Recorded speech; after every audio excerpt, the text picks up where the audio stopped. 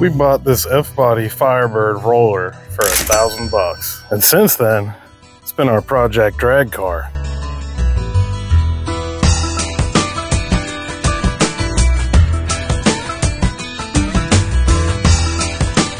Now, we ain't made of money around here.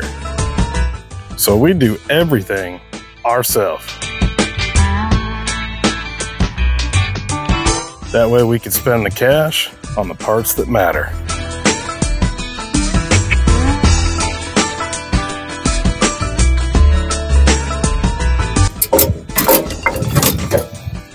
I'm Josh.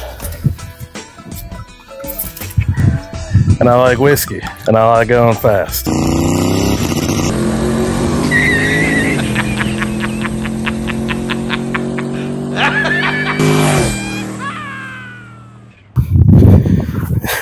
And you're watching High Noon Racing on YouTube. What's up, guys? Welcome back to the garage. On today's episode, we're going to be installing the manual brake master cylinder on the car, running all the lines, cramping them, flaring them, doing all the good stuff. Now, the master cylinder I chose was actually in a kit from Motion Raceworks, and it was fairly well priced, so that's the reason why I chose it. But first, we need to take these wheel cribs right behind me. We need to take these and get them under the car. That way I got some room to work under there. If I'm gonna be laying in the dirt, I need to at least have some space. Might also help us out when we get around to putting the transmission in. But that, that's for another time. All right, guys, it's time to get to work. And remember, if I don't answer your question that you came to this video for, I'm a chill dude. Just drop a comment below. Even if it's not related to this video, I'll help you out.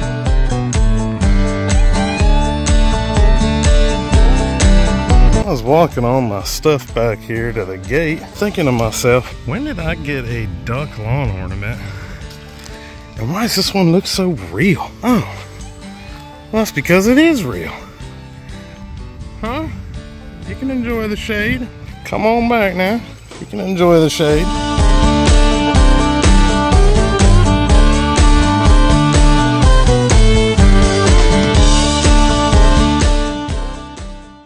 Alright guys, so the first thing we're going to do is find out our pedal ratio, and then we're going to figure out where we're going to drill a hole in our pedal to get pedal ratio we want. So to start, you need to find the pivot point, where the top of the pedal pivots. And it just so happens to pivot on that bolt right there. So I'll take my measurement from the center of the pivot point all the way to the center of the pedal. So if you can see, I'm gonna put my tape in the center of that bolt and then put the tape in the center of the pedal. And it's kind of hard to tell from the camera angle, but it's right at one foot, which is 12 inches. So we're gonna remember that 12 inches. Now we need to take our second measurement, which is where the plunger normally is, to the center of the pivot point. And that little guy right there was where it was at. We'll go ahead and take our measurement. And go from the center to the center. It's right at three and a half inches. We take our first measurement, 12 inches divided by 3.5, and it'll give us 3.4 something.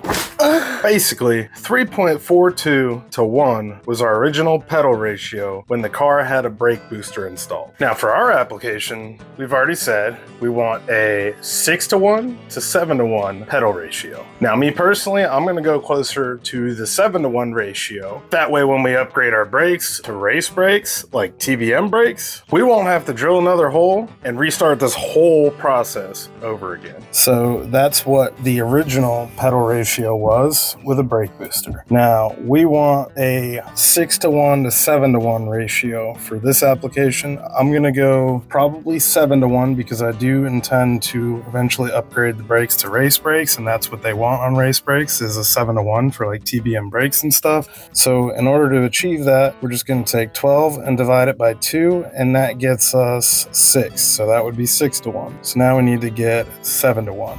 So if we did, if we wanted six to one, we would go from the center of that bolt, come down two inches, make a mark, drill our hole through the pedal, and that's where we would mount our plunger to get a six to one. So in order to achieve a pedal ratio closer to seven to one, I'm to measure down an inch and three quarters of an inch, 1.75. Drill our hole and mount our plunger. This will actually net us a 6.85 to 1 ratio. Instead of a 7 to 1, instead of a 6 to 1, it's on the higher end of the scale. I'm fine with this not being a whole 7 to 1 pedal ratio. 6.85 to 1 will be plenty for us. Not only do I have a heavy foot, but in the absolute worst case scenario, if it's still not enough, we could just swap out the master cylinder for a master cylinder that has a larger bore diameter to achieve the pressures that we might be trying to achieve. Now, if you came to this video and you were dead set on needing a 7 to 1 ratio, and you have the same example as me where your first measurement is 12 inches, what you would do is you would take 12 divided by 7, because that's your pedal ratio you're shooting for, and it'll give you a measurement. That measurement just so happens to come out to 1.71, which is actually 40 thousandths of an inch less than the 1.75 that we're going with. So let that sink in real quick. 40 thousandths of an inch less on the distance. That's pretty minuscule but that would net you a 7 to 1 over the 6.85 to 1 that we're going to go with. So, as you can see, we're going with 6.85. so we took our measurement, made our mark. Now we're going to drill it. All right. We'll make sure it can fit through these. There's clearance on both sides. Might have to do some trimming or bending, but we'll show you that if we do.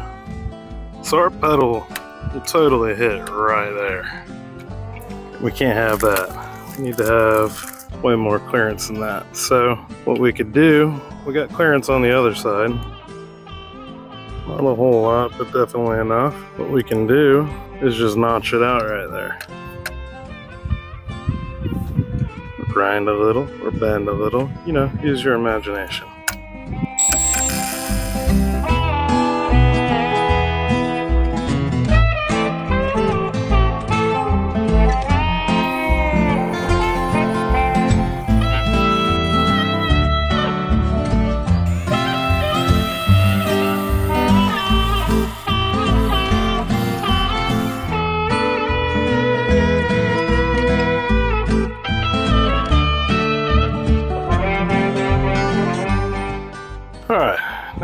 Something that's apparently really important, and that's priming it. And I guess they call it wet priming it. The reason why is because when we go to shove the plunger in there, we're accidentally going to depress the system.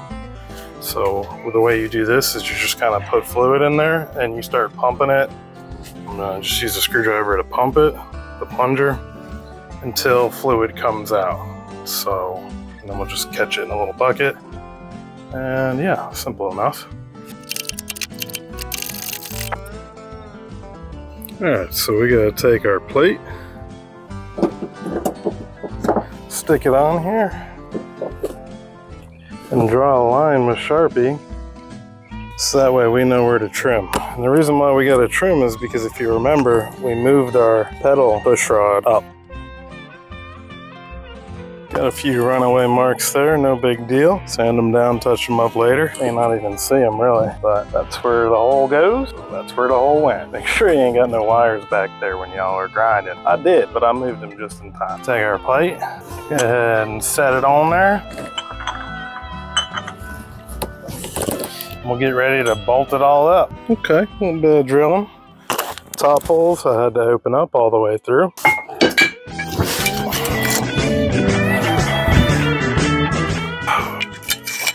Oh, hey. What's up, guys? Those two top holes, no joke, you gotta drill them out. Like they're nice, they're threaded, but I had to drill them out. And the reason why is because the original mounting plate on the backside, they were like, the bottom ones were great, the top ones were off. And I think it's because I put the bottom bolts in first and I snugged them up. Didn't tighten them like crazy, but I snugged them up. And somehow that bracket, it, it's jank. And anyways, best tool hands down to achieve that, to finish this job nice and easy for y'all is just get a step bit, a cobalt step bit, go on the back side on the inside of the car, open up the holes in the bracket on your brake pedal, open them up decent, not huge, but decent. Gotta have enough, a small enough hole to where the washer will still cover it. But um, yeah, it'll make your life 10 times easier. And then, uh, you know, go ahead and open up the holes on your uh, brand new TBM uh, plate too from Motion Raceworks. Oh, but you know what? It, it, went on. It went on good. So I'm just trying to save y'all as much time as possible because this happened to me. And it was, you can fight it. You can do all this unnecessary stuff to make it work, or you could just do these little things and it'll work fine. So just thought I'd throw that out there. God dang. Imagine being a 12 years age Scotch and some hillbilly going to just swig you down like that. It was good. and that one to the collection, baby.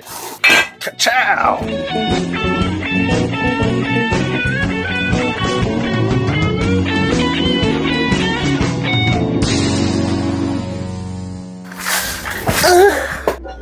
Alright guys, so I'm not a fan of making part one, part two, part three videos. It's going to take you, I don't know, two hours to figure out the information that you came to the, my video for. That's not who I am. That's not what I want to do. So this weekend I need to apologize. Are going to have to do a part two. But there's a good reason, and that'll come with some additional content that, you know, if you love your boy, you're to like to see either way. Because this is how I do my videos. Like, we ain't we ain't skimping on quality around here. I like to have, you know, I love my boy Cleetus and I love watching those slapstick videos like that. But I also think that a lot of these channels are lacking content that is like in depth, that like really just kind of like, I don't know how to explain it other than I'm making what I would want to see. When I make a video, I, I watch it, I edit, I watch it, I edit, and I'm like, would I enjoy watching that? That's how I edit for you. So guys, make sure to subscribe. This is probably going to end the video off here, but I promise you there will be a part two. Now, if I just uploaded this video, just understand one thing. There's probably part two ain't gonna come out for a week. And the reason why is because we're going to South Carolina. My boy uh, is getting married. So it's gonna be interesting to edit a travel vlog, something that used to make me throw up style video. But you know, I ain't, ain't trying to leave y'all hanging, you know what I'm saying? So hang in there. Part two will be coming soon. But before part two, you're gonna get to watch the shenanigans of this travel vlog that uh, I've never done before. I've never done a travel vlog, so I hope I do good. Wish me luck. And uh, you guys, make sure you subscribe and turn on notifications if you love my content. I plan to keep the core of this content like this, like in depth, you know. How do I word this? Word this? Oh. I don't know how to word it. I, I guess just keeping it 100, like just being honest about everything and like doing great videos and, you know. does all these colors. I think I got it two years ago and it can do all sorts of colors. And all right, I'm gonna shut up now. Y'all have a good one.